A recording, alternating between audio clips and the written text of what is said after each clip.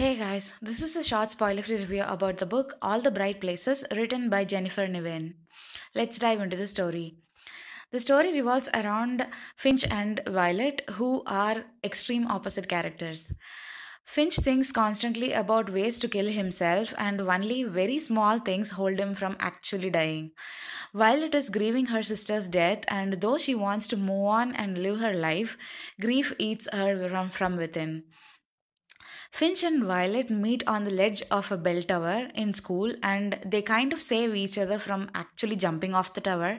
As a part of the school project, they together go around visiting natural wonders of their state and write theses about those.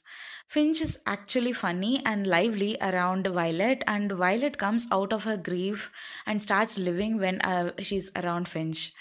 Does Finch gets over his obsession about killing himself and does Violet move on is the rest of the story. Finch's character and his life was very hard to understand, but I still loved him anyway.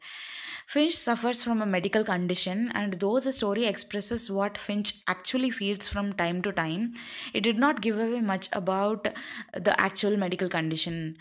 Uh, no idea why there were even parents in the story when they clearly had no idea about their children's life or condition. Seriously, I mean, in both of their cases.